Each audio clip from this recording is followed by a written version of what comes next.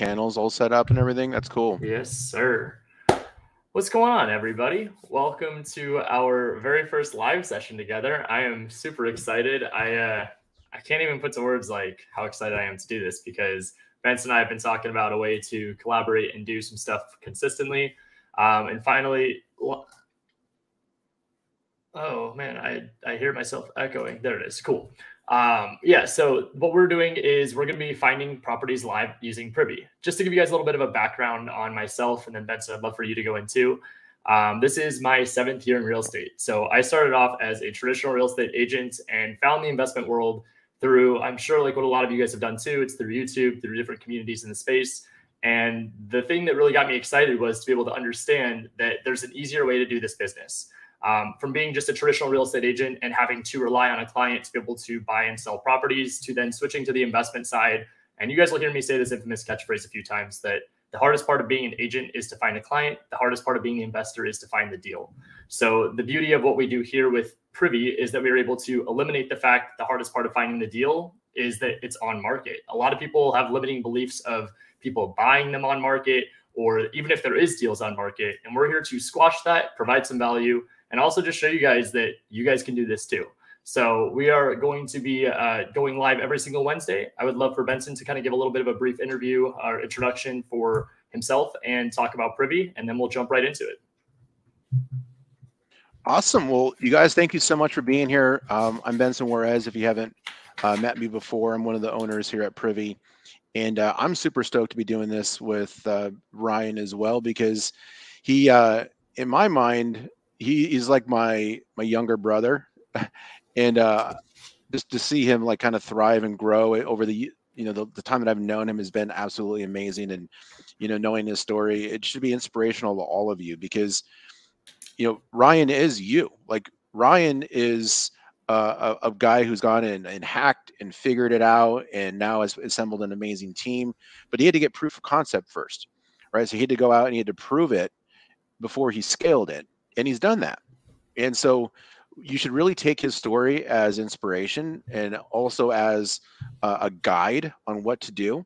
And you can also use the things that he has done in his time as things maybe not to do because you know we all make mistakes and you know you can use his his um, advice as a way to avoid you know pitfalls you know investing money into you know expensive you know campaigns and approaches that are unproven and you can really use this this uh, strategy that we're going to show you as a way to find low hanging fruit. Um, a lot of people, when they first start off in the business, they get convinced they have to go out and spend a bunch of money on expensive marketing campaigns, and they have to go and spend a bunch of money on um, you know expensive tools and lists, and before they even really know what they're doing, right? Right. And so part of what we're going to talk about is how you can get started in the business and and learn the multiple sides because there's lead gen and then there's knowing what a deal even looks like. You can be the best salesperson. You could have, you know, a marketing background. You could know pay per click and you could know how to generate leads, all these other ways. But if, if, if leads are coming in and you don't know what, how to identify a deal, if you don't know how to run comps, you don't know what a deal is in your market versus Philadelphia versus Tampa versus Denver, it's different everywhere you those that money you might as well just go pour it down the toilet. Like that's how important it is for you to understand the real estate side of the business which is is part of what we're going to show you guys. Is like how to understand what a deal looks like how to understand your as is value your after repair value and take that information and make it actionable. So you actually feel confident writing an offer and knowing that if you can get it under contract that you have a plan on what to do with it after the fact, right? If it's a wholesale deal, it's disposition. If it's a fix and flip, um, it's going to be you know you going and getting your, your your loan set up and doing the next steps. Uh, if you're an agent, well, maybe you're finding stuff for your clients. Like they, they better have their ducks in a row so you can actually get that thing to closing and then they can take that property out and actually make money on it. Because as an agent, if you give bad advice and you get somebody into a bad deal where the numbers don't make sense, well, they're not going to use you again and this is a small community. So you want to make sure you you guys have all your your things buttoned up. You're crossing your T's, dotting your I's, and that's whether you're an agent, wholesaler, fix and flipper, creative deal structure, all of it. And Benson, just a little bit of background on Privy. Um, how did this all come together? Was it just were you doing this business, or are you a tech guy background? Like, just so everyone can kind of understand um, from where you were to how you got to this point.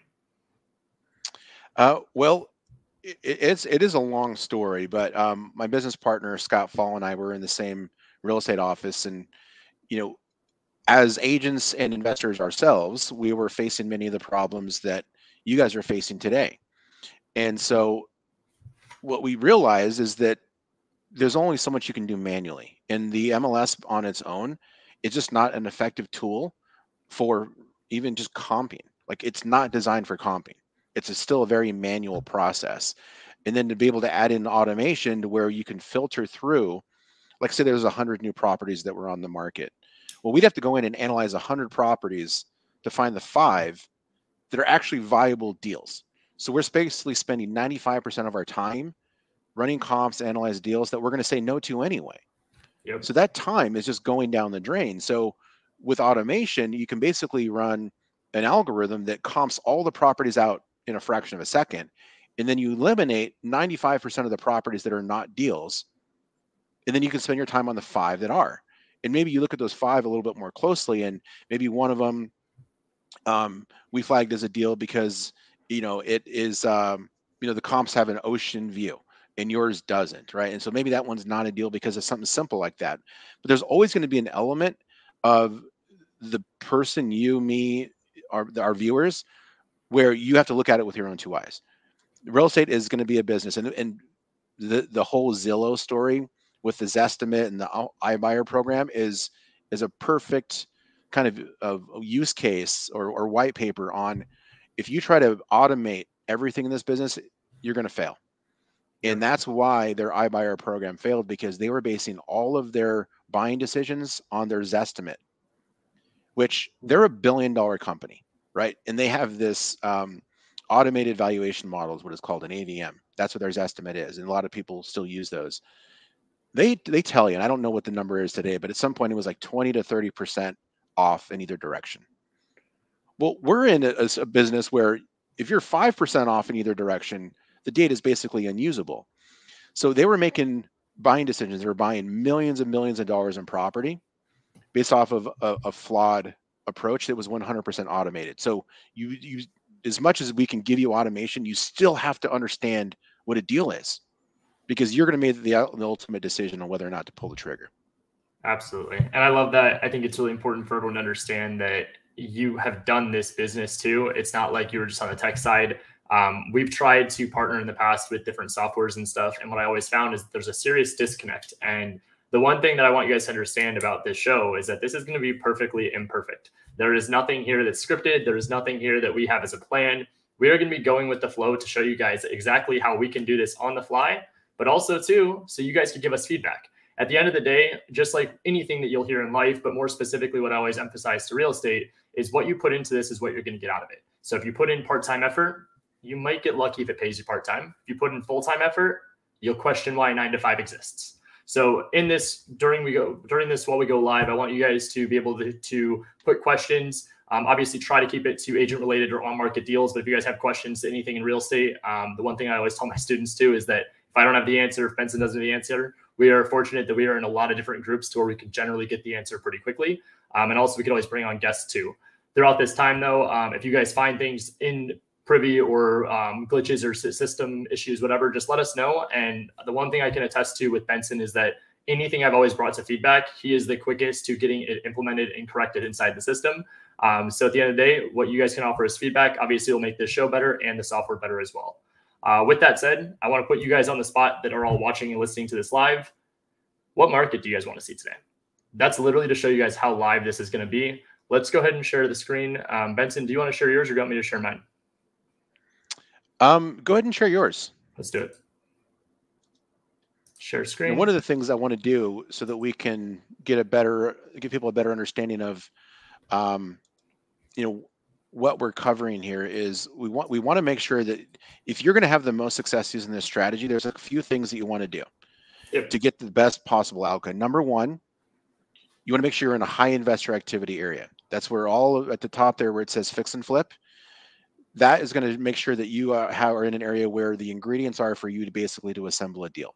The next thing is is you want to do your best to be in a in a direct to MLS area.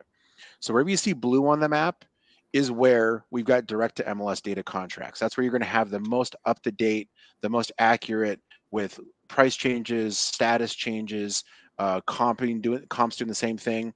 Yep. Uh, rich photos, property descriptions, agent information, um, all in one place. If you want to go do deals in Montana, you can still do deals there. It's just not going to be as easy. And you probably wouldn't want to go there anyway because there's no investor activity there. Right. And so the ingredients to build a deal aren't present there. So target a high investor activity area. Do your best for that to be in a in a direct to MLS area. If that's not mm-hmm. where you live, people are so stuck, Ryan, on this my market idea. Mm-hmm. Yep. My market, you guys, is going to cause you to fail 100%. Because my market, meaning your market, probably there's a good chance that area is not in a high investor activity area. So, high investor activity area takes precedence before the direct to MLS. And then finally, the last piece where the my market might fall in is mm-hmm. where you actually live. Right. If my market is where you actually live, and that's and that's how you choose that well that's the that's the last thing you use as a determiner on where you go. Where you live or where you want to look for deals is not one or two. Number one is high investor activity. Number two is direct to mls number three is you can be your own boots on the ground. If you can be your own boots on the ground it'll help you but i will tell you what we've got several users who used to, to think oh my god i have to be looking for deals where I live, when they figured out that they could actually do deals right from their computer and they didn't have to go drive and look at properties, they didn't have to go and look at houses, it was just wasting their time. It was actually liberating and they were actually able to get w- way more offers out. And this is a right. volume play, right? Ryan, I mean, you talk about doing five to 10 offers a day. Right. You can't do five to 10 offers a day if you're driving around looking at houses. 100%. do it. 100%. So, you looking for deals in my market is going to hold you back. It's actually more of, of a deterrent um, and a hindrance for you than it is a, a positive. But I do understand that many of you, it makes you feel comfortable and warm and fuzzy. If you can get outside of that and you know that the data is king and whether or not you look at it with your own two eyes is going to be a factor, it'll open up the world to you. And then you can target the best areas to invest, not just compromise and look where you live because it's convenient. Absolutely. And we've got so many comments popping in here of different markets. Uh, make sure to keep throwing the um, what market you guys want to see. We will go through a couple of them if we've got some time. Um, and also, too, every week, my goal here on this show is to basically go and really just show you guys the ropes. So it's truly understanding the process and not just being able to identify a deal, but the what happens next, right? Like it's always easy to talk about how we can all identify deals and what offers we're going to go and submit on properties. But at the end of the day, if we don't talk about the actual nitty gritty stuff as to what you need to do to make sure a deal goes and gets closed, we're just wasting time here. And at the end of the day, this is all about being productive, but more importantly, being efficient. So, what I want to make sure you guys understand is first off, we have to find the buyers first. So, while Benson's saying the investor activity, I want you guys to really understand this software is the best because of how simple it is to use. So, when we're talking about fix and flip, for example, we're going to say that these are investors that have gone in and fix and flipped properties think that's pretty self explanatory. But the most important piece to that isn't just to know who's buying the properties, it's to know who the buyers are. We want to be able to build the relationships with them. And also, there's a two part to this one, it's building the relationships with the buyers that are going out and actually buying these properties. But two, this is what I love. This is the agent investors method. Build the relationship with the agent, understanding that while the hardest part of being the agent is to find a client, what exactly do I mean by that? If the hardest part for the agent is to go and find a client, that's somebody that is willing to go and buy and sell a property without actually blowing it up, without actually not qualifying, without actually wanting to like go and make this the hardest part of your entire job. The hardest part for the agent is to actually find the client, but then it's also to deal with them. So if you have an agent that has an investor client, do you think the odds are that they only have one investor client? Because I don't. I think that they probably have 5, 10, 15, 20. I think they might have a brokerage. I think they might be a part of a team that specializes with working with investors. So calling that agent could really open up the floodgate to 15 different investor relationships. So with that said, we're seeing a bunch of comments pop in. Um, I am going to be a little biased. I had somebody in my Discord throw some markets out there too, um, and they were recommending some of the smaller markets. Again, this is on the fly. Benson, do you have any of the smaller Midwest markets that you'd want to pick today? Um, somebody put up Cleveland. Somebody put up uh, Milwaukee. Let's do it. Those are two markets that I, I, am very interested in. Both of them have direct to MLS. Both of them have. They're not smaller markets, but I would call them mid-level markets. They're not like the highest. Okay. Cleveland, they're not Ohio. the lowest either. Let's do Cleveland then. So clicking on Cleveland, this button right here is special, the fix and flip, because this is going to dictate which properties have been bought and flipped by an investor. So now we see all these different circles. These are going to be where the deals are getting done at the current moment in time. So obviously, like if you see three right here, you're not going to want to go click on the three. You're not going to go click on the two. We're going to want to click on 94, 91, 119, um, even 54. Benson, I'm not as familiar with the Midwest um, up outside of Illinois. What would yeah. you recommend, 119 well, or 94? Well, what I would do first is if you go into the filter, yep, and then click the button underneath where it says Cleveland, it says include surrounding areas. Okay. That will include properties, and then click run search. That'll include properties that are just outside the city boundaries. Ooh. So we have more of a kind of an overall look, and then now we can see some different numbers here. So it gives us a better sense because it love that when you put the city, it actually includes just the city boundaries. Um, so what I, I would do the 135. Yeah, I think that one's the one. Look at all these properties. And now Benson, these are all properties that have been bought and flipped by investors. They are right. So what we know, I mean, being data guys, is there no there's no data out there that will tell you that a house is flipped. You have to basically infer based off of what's out there. So we look for a house that was bought, fixed up, mm-hmm. and sold, and they bought it lower than 75% of the ARV. That was because we had that in our filters, right? Right up here. Yeah, but so if you open up that filter there, you can adjust this up or down. But this isn't a scenario, you guys, where you want to lower it to try to find properties that were purchased lower. This is to, to try to find who the buyers are and then where the, your comps located. Mm-hmm. Because if you are in, you know, we saw those other areas that have low investor activity. Um, yep. Some of them are like, um, you know, Montana and some of these, you know, northern states. You could be the best marketer in the world, and if you come across a property that's that's unrenovated and there's no renovated comps around it, the only way you can make that property to be a deal is to offer something so ridiculously low that there's no chance of them accepting it. Right. But you could find a house that's unrenovated and you could pay retail for it as long as it's right next door or in the same neighborhood as a renovated home. So you want to be looking for houses in renovated areas. That's how you determine ARV, right? It, it sounds elementary to be like, oh, ARV means you have to compare your house to a renovated home. But there are people out there that are trying to prove after repair value with unrenovated homes every single day mm-hmm. because they're not targeting high investor activity areas. They're just looking for deals based off of convenience. They're looking where they live or where they work, or they find some property on Facebook and then they just go run a bunch of comps on it and they can't figure out what it's worth because they weren't strategic about where they were looking in the first place. So don't even evaluate any property if you want, if you value your time that's not in a high investor activity area. Absolutely. And so there's a lot of different options here for us to pick from. Um, do we just click on one of the higher numbers again, or what do we do next? Yeah, you, you can zoom in. I don't know if you have a roller ball, it'll just take you in a notch there, and then you can get in. Once the properties get below, um, once it gets below 300, then it'll break up like this. Okay. And then look on the left, look at one that looks like it's renovated. That one that doesn't look like it is. Now, that one that's 18,000, yeah. there's a reason why it shows there. It's probably not a flip, but they bought it recently yep. and they bought it lower than 75%. And so that maybe they got it at, from an auction for like two grand or something. Like those, those will happen. For sure. And I, I think we'll, we'll skip over this one, but just to that point, you click on this, we'll be able to see who the buyer was, meaning that if we know someone paid $18,000 for this house, the odds of them going and buying another property that's super discounted are very high. So right. now let's just check out maybe this one. This one looks like it might be some fresh paint. No?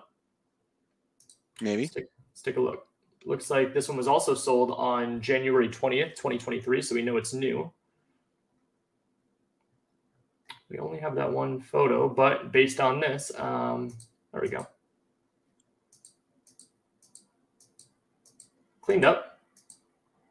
This might be a little bit more of a wholesale where they went in, they just uh, cleaned up the property, painted the walls, put in some new baseboards, kept the original floors. Looks like they painted mm-hmm. cabinets in the kitchen.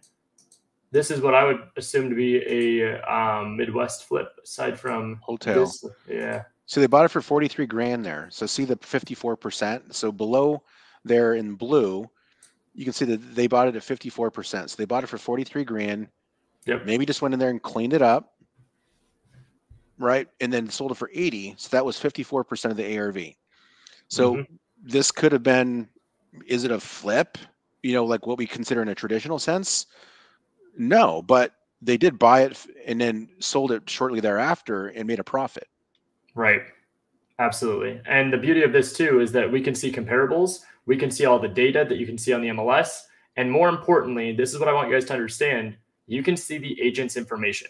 So um, for those of you that have just the investor one, you guys can't see the agents. You can just take their first name and last name and their listing brokerage, which is up here. Right and you could just Google it, and I promise you it'll pop up. Agents remembering that the hardest part for them is to find the client. Their information is not hard to find. You're not skip tracing this, you're not paying for it. You're able to go and just pull this list or pull this information specific to the agent just by Googling. So, yeah, you would just want to Google that. Again, you can only see the agent contact information in our system right now if you're licensed. Correct. And so, I mean, right here, you could see, like, just to compare notes of it, um, where was it? It was Miller, 216-402-6776. That's just off of Google. Yeah. That's how simple this is. Um, now, the most important piece that I want you guys to understand is that we see a buyer agent and we see a seller's agent. For those of you that are in my Agent Investors Diamonds Here program, got to see me make a quick little fumble yesterday. or It was uh, last week when we were calling because I accidentally called the buyer's agent looking for uh, the listing agent. And it was oh. funny because they ended up, or I might have had that backwards, because they told me the one that didn't answer was actually the one that was the contractor, the investor, and the flipper that was going in to go and try to buy more properties. So nice. by one not answering the phone, I actually got the information I needed from the other agent. So just understand that you see all this right here, you can go and contact both. So when you go and call Sharitha Miller, you would say, Hey, I see this house was just renovated. Did you represent the investor or did you flip it yourself? Because yeah. if they say, "Oh, I flipped it myself," awesome. Well, it looks like you just sold this one. Would you be interested in buying another one? The whole key and part of this is to understand that you have to go find your buyer first. The minute you find your buyer, you can reverse engineer the process of understanding what exactly it is that that buyer relationship is looking for. So you're not on a scavenger hunt trying to find something that you don't even know what you're looking for. I mean, at the end of the day, when real estate investing is finding a needle in a haystack, it's at least good to know you're looking for a needle a lot of times if you have a haystack and you don't know what you're looking for, it's going to be a long day. So, mm-hmm. um, first off, I would call the listing agent first. Call and introduce yourself and say, "Hey, I saw you just flip this property. Are you looking to buy more? I'm a real estate investor out in this area as well, and I come across a lot of opportunities. And I was wondering if you'd be interested in, in purchasing another." The second piece to this is reaching out to the buyer's agent. Yeah, is Ryan. This... if I can show you too, if you scroll Please. down to the before and after. Yep. Because they won't see that section you're looking at. Yep. Um, so this they actually bought this from public record. It looks like, unless I'm missing something there. It, it definitely um, is a public record. This is going to be from a Google image. Right, and if there if there was an on-market acquisition, it would have the MLS ID here. But over to the right, it shows the listing agent. Um, and so when you guys are looking at this as as an investor, this is where you're going to see the, both sides. Correct. Right and then you can just Google it. And um, and below at the very very bottom, you can see there. It, um, if you without scrolling, it just kind of it sits at the bottom there. It's floating at the at the bottom. It has the yeah. MLS ID and the agent. Yeah. That as actually you know you can highlight it and just right click and just click search Google, um, mm-hmm. and it'll search that for you.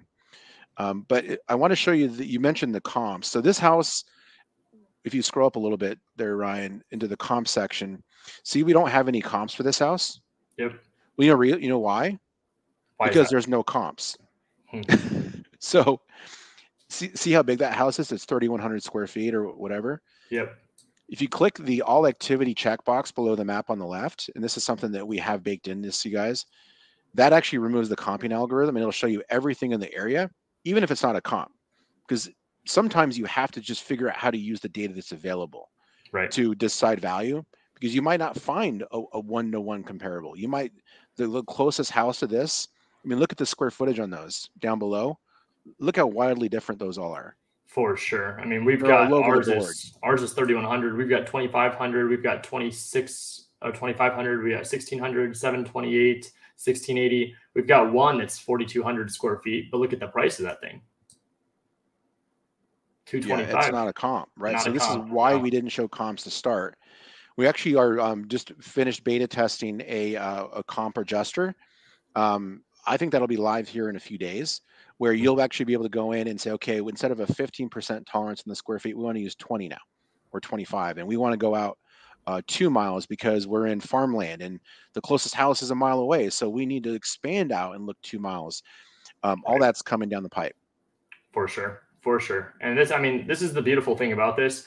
This is what I feel like the agents don't realize is typically the most important tool they have on their tool belt. It's the MLS access. For investors, if you're not licensed, having a software like Privy is almost just as good, if not better. A lot of the feedback that we get from people that aren't even licensed agents in our program is they say they prefer the, the layout, the user interface of Privy versus the MLS. Most MLS softwares are actually looking like they were made in the 1990s before the internet was really even a thing.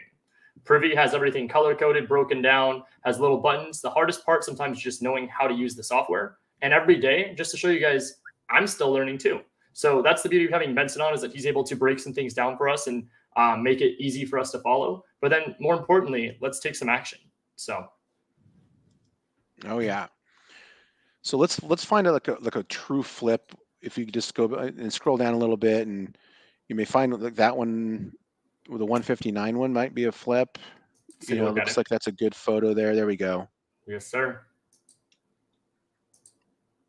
Right again we're inferring you guys because we're just looking for two transactions in a short period of time.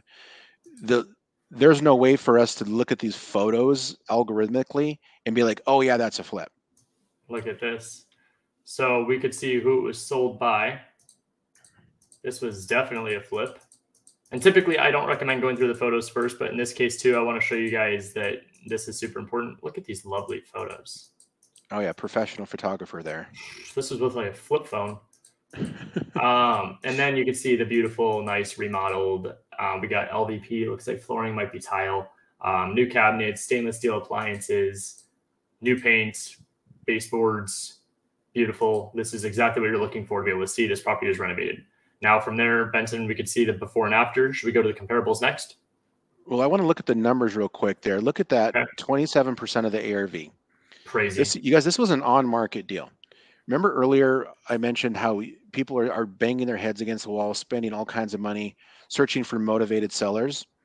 Well, the most motivated sellers in the country are people who put their properties up for sale. They already decided to sell it. Yep. Then at that point, the only thing that matters is can you find a house that's a deal? Well, a deal, like we said, is when you find a house in the same neighborhood as a fix and flip. Mm-hmm. But look at this. They bought this thing for 27% of the ARV. I know people that are buying stuff off market. I bet you we could find somebody in, in this market that does. We won't spend that today. Yep. It's probably paying 50, 60% of the ARV, more than twice as much as this person that had to do zero marketing yep. to find this property.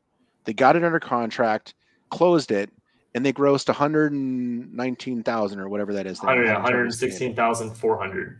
It's insane. Insane. And and these are the kinds of properties we help you find using this systematic approach that Ryan's talking about here, where we can leverage data's algorithm to find these things, to pluck those needles out of the haystack. The algorithm will find these for you. It's Absolutely. amazing. So now let's go check out those comps, see what we got around here. We didn't have to click on all activity, just goes right here and we can see what is around. But our property is 3612 Menlo Road. We are a three bedroom, two bathroom, 1348 square feet. Looks like we are a detached garage, one car garage. All right. Well, what do we have around here? We've got one that is saying that it sold at 285,000 and that one is where are we at at the 285? I just click on it. It's the blue one. It, that one right there. Mm-hmm. Okay. So now we can see this one is still relatively close. So I like that. The only thing that I would make a note, which I would put down in your guys' notes if you are taking notes along this, I would say, okay, this does cross a major intersection. So is there anything over here that makes this more valuable than over here? I don't know the area, but in my case, I do like that we look like we are along the same road. So if we are along the same road over here, 285 and 159, all right, well, now we know this is our comparable. That's how we based the percentage. And Benson, what percent of ARV this one sold at? Is this 56% is what this well, one was bond sold or break that down for us? Yeah, so this the one at 285 is going to be it's a comp and it's sold for considerably higher than this other house, but the one we're looking at is already flipped, right? So right. that one is just uh, for us to do our market research. Mm-hmm. No, I mean the one below the subject property for on Menlo. Ours. Yeah. Right. So that one is is us understanding sold. what a deal is, yep. and then we can look at look at. There's even people that are selling them for even significantly higher than that. That's going to be a unique situation. I don't know why that sold for so much. Right. Um, but it did. It's, that's what you call an outlier. So that one you would probably try not to use. As, yeah. Yep. But it's interesting to know that. But what you want to look at is the active ones. Correct. Is, so 99, 165, 70, 70, 89. So that's 71. If you could get that one that's active on the market, we know it's a comp of the one that just sold for 116, right? Because they're similar. Correct. So, so could we get this at a price where we know the the ARV is 116 and where the numbers make sense. I like that. Maybe. Okay.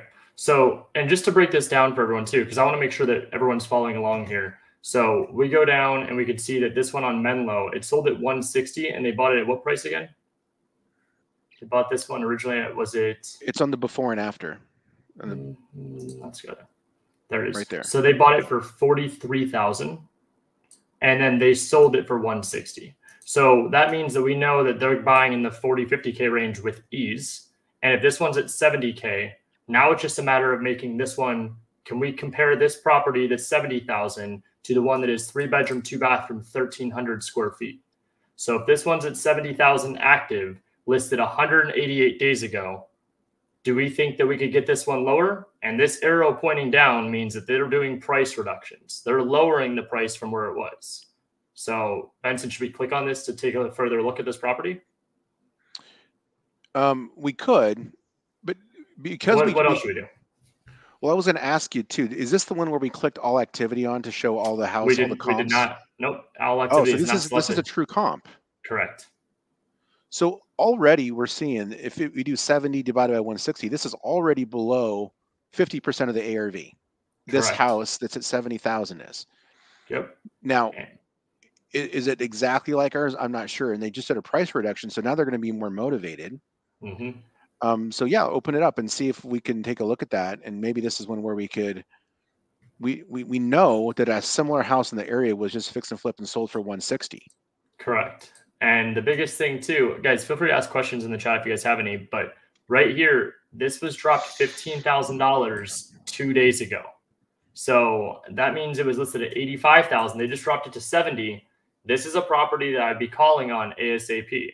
Now, going through the photos after seeing the data first, we can understand this property isn't in terrible condition, but it probably needs a little bit of TLC.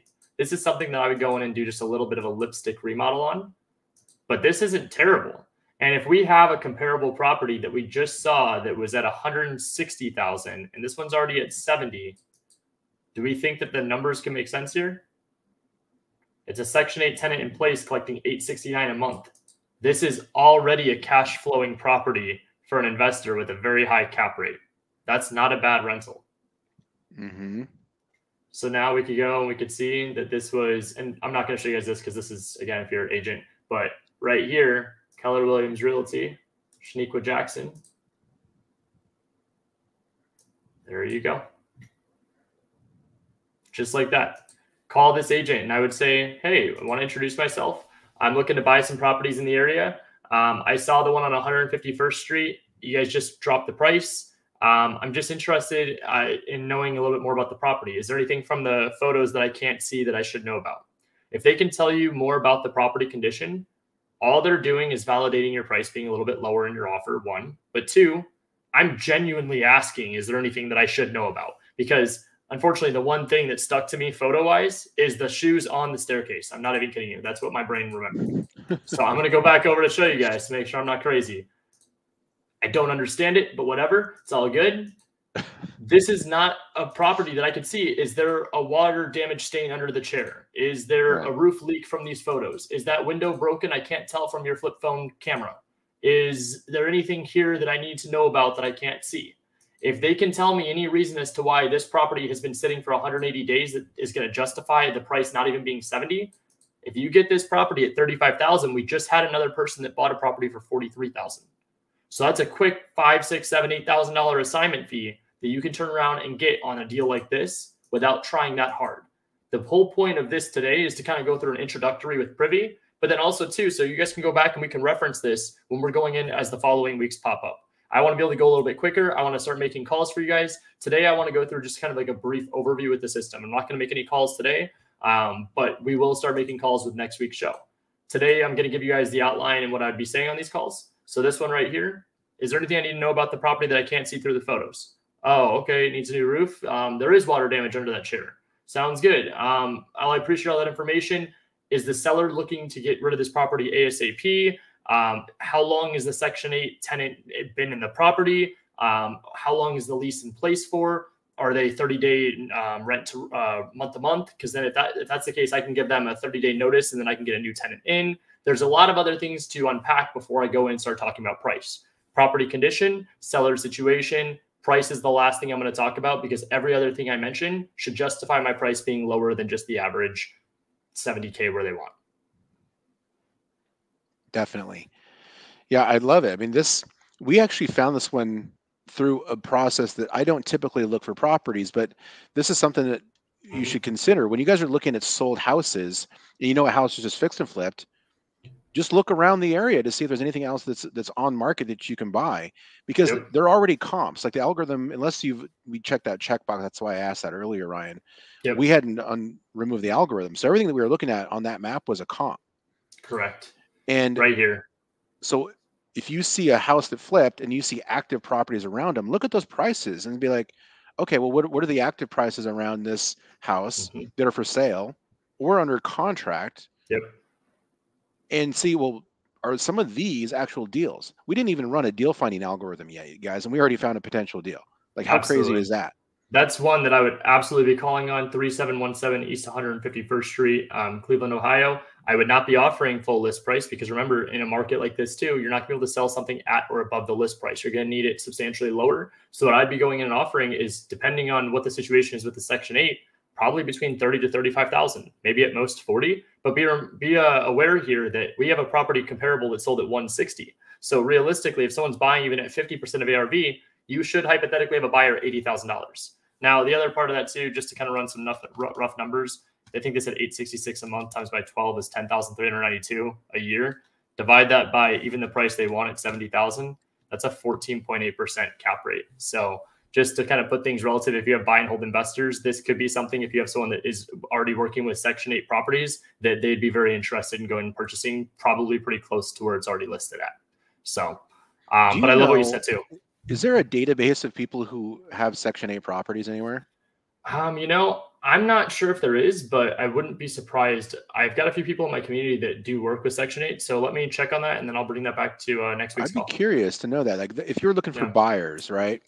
And you're looking to find a very specific kind of buyer, right? And you want to niche yourself because everybody's kind of targeting fix and flippers, right? A lot of people forget about landlords, right? Because landlords in general will pay a higher percentage of ARV than a flip fix and flipper will because they don't need to realize their gains as soon as they acquire the property and, and, you know renovate it right? They're thinking okay yeah if i can get it at a discount 5 10% 20% if they're going to they're looking to increase the value a little bit then they're they're looking to make their money over time using cash flow and appreciation and depreciation and tax write-offs and all the benefits of owning real estate so they can get that you know you know cash on cash return net operating income that comes with all the benefits of owning real estate. For sure. But it would be cool if there was a list in place of people who are Section Eight landlords. I I don't know. I, I, just I an bet, idea. I bet there is though. So let me let me do some digging and I'll see what I can find out, and then I'll bring that back to next week's call. Because honestly, I mean, this is that's literally a, almost a 15% return. I mean, how many investors right now are hearing, "Oh, I want 10% as what my cap rate is"?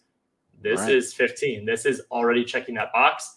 Figure out the underlying issue with the property, figure out how long that tenant's in place for, figure out what um, other issues, if any, there are. And from there, let's get to work. I mean, we could find people that would buy that. Even the fact that we don't have a database of Section 8 investors, we could find people that will go in and purchase this property all day long. Yep. All day long. And I want to see somebody come back next week to the call saying, hey, Ryan and Benson, 151st Street, made 15K, made 10K. You guys can do that. And what Benson said too, just to kind of reiterate, we found a deal by trying to find a buyer first. That is the beauty of this. So where I think a lot of people go wrong is right here. What are we stuck at with this deal on 151st Street? We don't have a buyer. So that's the issue where if we went back and we were to realize that this agent that just sold this property might have a buyer too, the only thing that I would say is a, a note, this is situational awareness we talked about, is that in this case, they fixed and flipped. So if this is more of a buy and hold investor, we would need to find a buy and hold investor. But in this case, mm-hmm. too, we found a buyer first that's looking for fix and flips. We know that they can find deals super cheap at 27% of ARV. But more importantly, we know that they could go in. I think that they took a little bit of uh, some sweet time to go in and flip it, but that's okay. Um, they could go in and they're still buying properties to go in and fix and flip. So now we know what they're looking for. We can reverse engineer this into going and finding other opportunities that are already on market and start submitting offers on those. Let's look at the buyer on that one. If you go into the property history there in the bottom section, um, just scroll down there, property history. Yep. You can see there that the the buyer, which we see as the seller now because the, the transaction closed, is Smartland Find for for LLC. LLC. Yep. So that's the buyer, you guys. This is the that reverse REI strategy. You find deals by finding the buyers because the buyer is going to tell you what they want. Mm-hmm. They're going to tell you what their buy box is. Now we but we know they got this property, you know, really at a really good deal um, already. But is that what they would buy a property at in general? Well, no, you don't know for sure until you talk to them. Right. And then we would use the same approach that we just did to find the agent by just highlighting Smartland LLC, doing a quick Google search. They might we might find their website. We might find their Facebook group. Likely, we're gonna they're gonna pop up in you know OpenCorporates or some sort of a business database and then we can go in there it is smartland find for fundraising filing um, there they are right there. Yep this one right here. So then you just look at their OpenCorporates thing and you see that we've got they've got four people here that are part of this company. Incorporator i don't usually see that. Usually it's like an agent or a director yeah, yeah. and then you can take that name put it in True People Search, do a quick search, and you're going to find oftentimes emails, phone numbers, and you can reach out and connect and ask them what their buy box is. And we'll do more training again down the road with Correct. what those conversations really look like. But right now, we're just trying to give you a framework of what to expect and how to handle these things because it isn't all that hard. And right. what a lot of people do is they come into Privy and they're like, oh, I want to export a list of 10,000 buyers Mm-hmm. You don't need 10,000 buyers. You need like 10 or 20 good ones.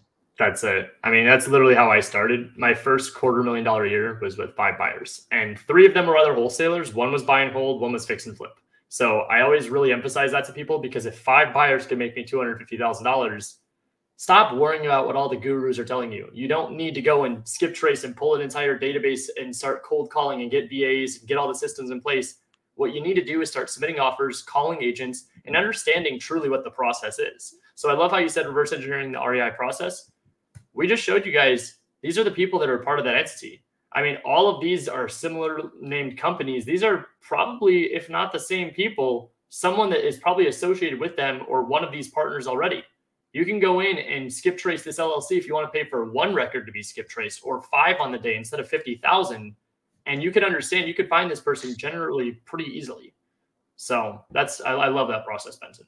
Yeah, and it makes it easy, right? Because when you reverse engineer the process, you're not creating your own path. When you blaze your own path, you make mistakes. Mm-hmm. You you actually have to be a visionary and figure out the problems and solve them down the road. But when you start with the end in mind, with you when you begin with the end in mind and you work backward, you're going down a path that someone else has already gone down. It's already there. It's carved out, and it's really so much more simple for you to figure out what a winning strategy is because you're basing it off of someone else's success.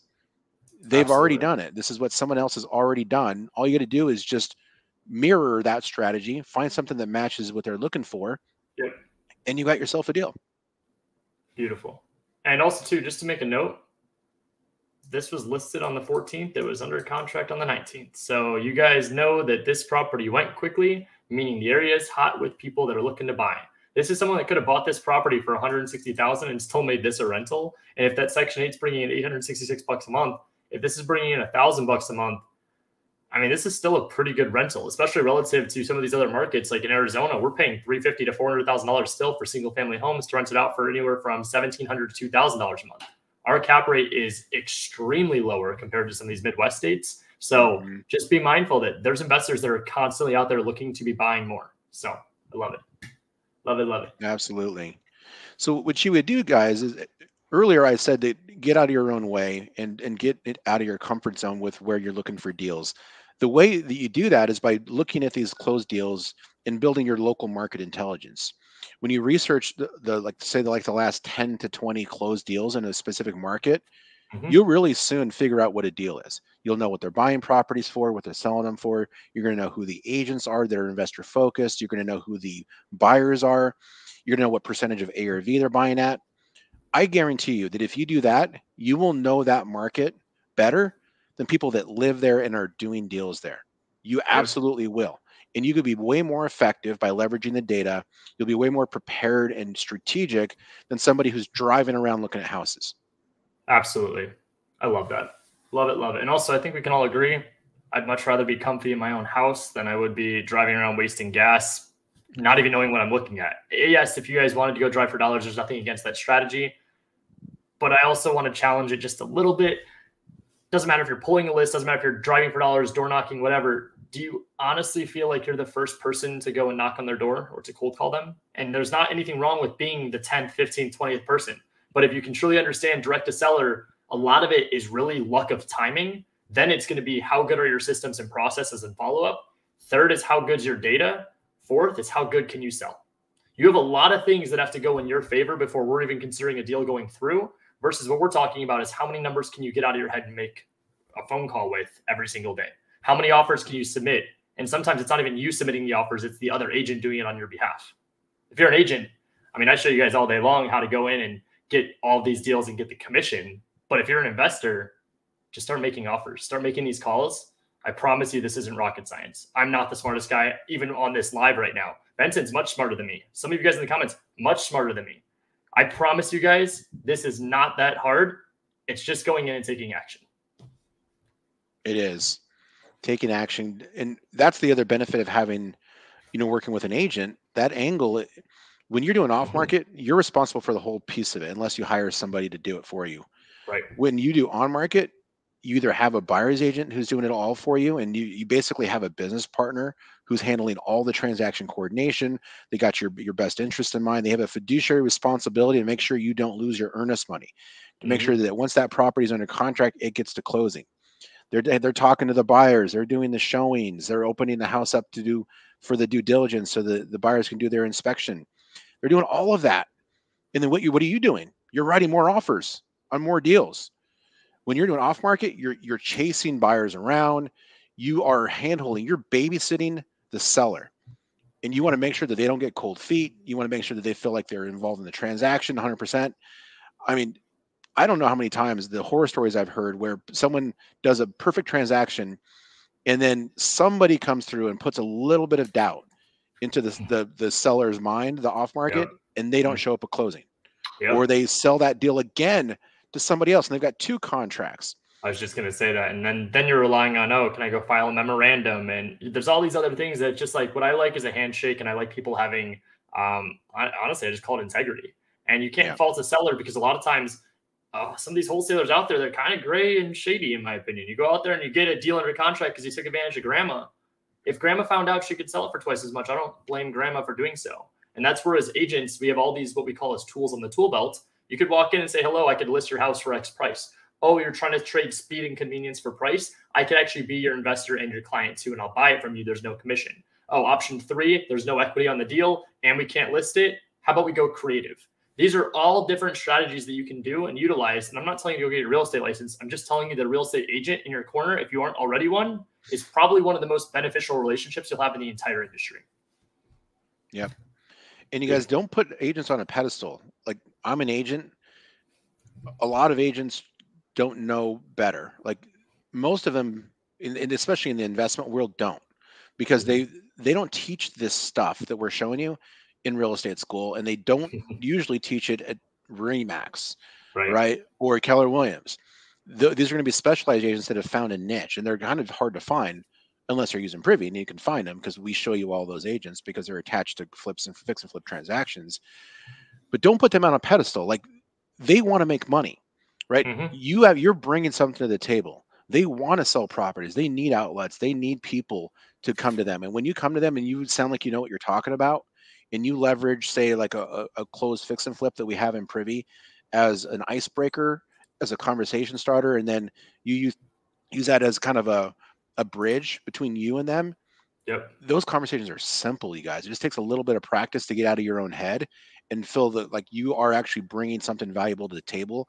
And then those conversations are great. And next thing you know, they're like they're calling you and they want your advice and they want to work with you and they're introducing you to other agents. Like it's crazy once you get out of your own way. Absolutely. And Benson, I know we're running out of time here. I think today what we should do is just kind of leave it at the showing people how we can find buyers. And next week, let's show them how we can go and find the active deals. Um, and then maybe answer some questions. I know you guys have been putting some stuff in the chat.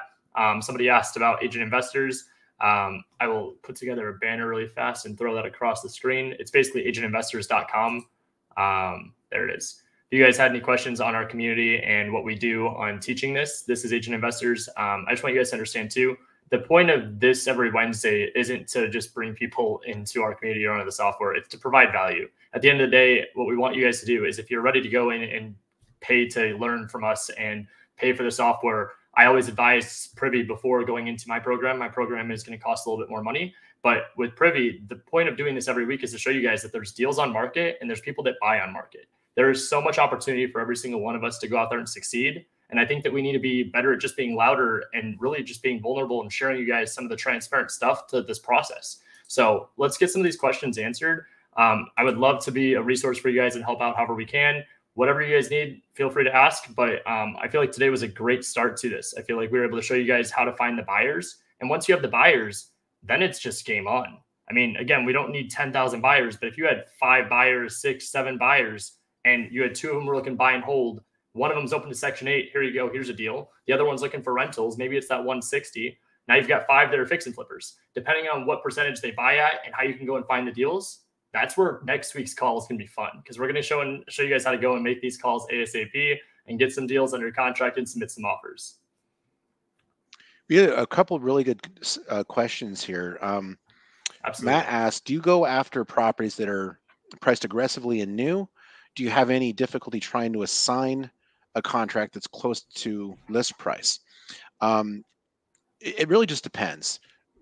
My favorite strategy is actually going for the new ones that are priced right aggressively because if if you have already built your buyers list and you know what your buyers want and you can get there and you can get there first and lock it up that's mm-hmm. the value you're bringing it isn't that you got it at a huge discount for some house that was sitting on the market for 60 90 days and now that buyer is thinking like, well, I have to get it at a huge discount. Nobody else wanted it.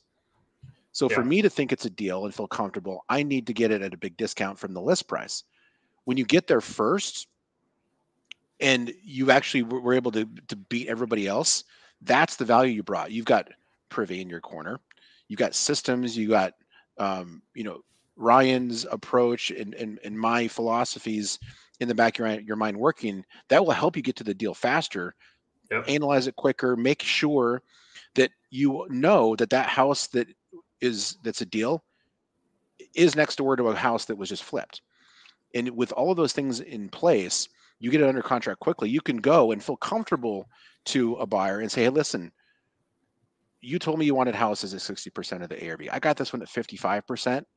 Yep. Yeah, I had to pay $5,000 less. You're going to pay close to asking price, but it matches all your other deal criteria the numbers make sense. There's many extra strategies. This is a deal. If you if you can get there first, and what you brought is that you have it under contract and they don't, and no one else does, and they need that deal, that's what you're bringing, and, and you can get those done. Will you For have sure. some buyers that say, "Yeah, well, you know, I really want to get a discount"? Well, there are lots of buyers that don't think that way. So Absolutely. many buyers want just deal flow and they need to get deals done. There's an unlimited, I mean, there's a limited number of deals out there. Last night, Ryan, somebody asked this thing too is like, well, why would they want to buy a property from you if they could have just gotten it themselves? well, the answer is, well, they didn't get it themselves. Yep. You got it first. And I had this analogy. I think it's kind of funny. So over the weekend, the they had the Pro Bowl, yep. and um, one of the, the things was they did a, uh, a, a dodgeball tournament. So there's yep. eight players and there's four balls in the middle. And when they click go, everybody runs out and grabs a ball. Well, guess what? There's four people that don't have balls. Mm-hmm. It's a simple supply and demand issue. So if everybody runs out and grabs a ball, well, there's four people that don't have balls. The only way that a person that doesn't have a ball gets a ball is if someone else throws it to them. This is the, what we're doing, you guys. You're racing to these and you're trying to get to those balls first. And then once you have it, you're, you're you have the valuable piece of the game. I love if that. those other people want them, then yeah, you have to throw the ball to them, but only if it makes sense. Makes it's, sense. It's, it's a simple, it's simple supply and demand. I love that. And I think that that's a great analogy. And to show you guys like counterbalance, part of what I teach and what I go after primarily is deals that have been sitting. I found that if they are sitting on the MLS, I know how to communicate with an agent to the fact that if it's been sitting longer, I can ask them some of the harder questions. The point of it is that there is no wrong or right way to do it. The oh, I guess there is a wrong way, and it's by not doing either. So just understand you can go off of the day one on on market listings. Um, I will tell you, it also is dependent on the market. Where the Midwest and some of these other markets, if you can go day one and get it, phenomenal. What we found, especially in Arizona, is that there's a lot of competition with day one on market, and there's a lot of newer wholesalers that go and get properties under contract way higher than what any investor will truly pay for it. But if you have an investor that's willing to pay top dollar for it, or you know what percentage they're looking at, it's fair game. So I think that it's a great um, counterbalance there because I don't think that either way is wrong. Uh, just go out there and take action. I see Stacy actually went and called that um, agent on 151st. She said that uh, tenant is month to month and wants to stay. The property does have some roof issues and wants to wants close to asking. Um, the key word there is want. So it's more of now what do they need? Do they need this property to sell to go buy another house? Now, granted, we're talking about the landlord here. So the landlord, you got to figure out do they like the Section 8 tenants? Because if they don't and they want the property gone, of course they want 70,000. But if you understand they just dropped it $15,000, that screams motivation to me given that price point. And when you talk about roof issues, now you've got justification for a pretty big expense that is going to be on your table as the investor or on your end buyer's table if they're wholesaling it. So in this case too, I would still submit an offer. If they've gotten lowball offers, which I see your next comment, they've not accepted. This is where the hard question comes into the agent. I see the property's been sitting for 170 days. If this sits for another 170 days, what happens? I know what happens. The agent's going to lose the listing. The seller is going to be stuck with the tenants, and I don't know if they want them or not. And also, they're month to month. Anything could happen. There is no guarantee that they're going to get a paycheck for the next six months. There's a lot to unpack about that Section 8 tenant that I would want to get a little bit more information with, but also understanding the leverage as an investor, third month to month, 30 day notice gets that tenant out. So there's a lot to go into on that deal, but I would still be submitting that offer and I'd go after it probably around $45,000, at most. Amazing. Love it, I love it. Yeah, some people are asking about like how do you talk to agents and how do you talk to buyers? You guys, we wanted to give you guys a good foundation understanding of what we're going to be doing and what's next. So, yep. in following calls, we are going to be talking to, to, agents live. We'll be talking about strategies, about talking to agents. Um, that's all going to come from from Ryan because that's what he's a professional at. Um, buyers as well. We've got probably some scripts that we can give away, so we can help people with that. And then for those of you who don't have Privy, um, you need to get it. What we're showing you here is the easiest path to getting deals done consistently, predictably, and also giving you the ability to scale and do business. So, um, Ryan, do you have a link for that? Yes, absolutely. I just put it together. It is creative. Yeah, if you guys go in there and and get go ahead there and get started. We have a 30 day money back guarantee. Uh, Privy is only $97 a month, you guys, if you don't have it yet. Guys, this is definitely the best software out there. Um, you guys will see I do not associate with others because there really isn't anything else out there that compares to Privy. Um, this is the best of the best. This is what I use day in, day out. Um, that's why we're starting to go live because I want to show you guys how we use this. This was actually my very first time inside the Cleveland market. So if you guys could tell, I'm a little bit like, ah, I don't know. Um, the beauty of this is that we're going to learn together. I'm going to go in, I'm going to help you guys build out your buyers list. I'm going to help you build out your agent list, and I'm going to help you guys submit some offers. I'm going to tell you guys what I would submit on it. I'd help you guys sell it. We have a Discord community where we have buyers that are actually going in and purchasing deals from other wholesalers in our community. Um, but the goal here is to collaborate and more importantly, get some deals done. And then if you guys want, let's get privy, jump in agent investors. Let's work together and collaborate. That's the beauty of all this is uh, collaboration. Yep. And if you use the promo code Zolin, Z O L I N, I'll give you 20% off your first month. Dang. That's insane. Off. So 77 bucks. Um, and then you got a 30 day money back guarantee, you guys. And if uh, and a little tough love here, we've thousands of people that are doing exactly what we showed you today with success. So if you get in there, you're not having success, you got to look at yourself in the mirror, right? Really look at yourself in the mirror. And if there's something stopping you from like doing the things that work, if you get stuck in your own my market, or if you're only focused on the cold calling and the skip tracing, if you can figure out the formula for a successful return on investment on doing off market deals, we'll do it. But here's what I've, I've found is when people who are successful with off market start doing on market and they know how simple it is, mm-hmm. they make that a bigger part of their business. Absolutely. Because it's a way better return on investment. I love it. I love it. I love it. Awesome, Benson. Well, I appreciate you. I'm looking forward to doing this weekly with everybody. And uh, hopefully, we will see you guys next week. If you guys got some value from this, feel free to like and subscribe to channels. Um, put on your notifications. Look at us. I'm like such a YouTuber now. This is so crazy. Um, but I appreciate you guys, and I will see yeah. you guys. Um, go ahead, Vince. What's up? One more thing. I just want to yeah. say if you guys have questions, you can call our office. Beautiful. Um, the office number is uh, 844 438 7748 and people uh, we've got you know amazing staff there that can answer your questions about pricing and and you know questions you might have or you can email support at teamprivy.com Beautiful. okay? I love it. I love it. I love it. I appreciate you guys and we will see you guys next week. All right guys. Bye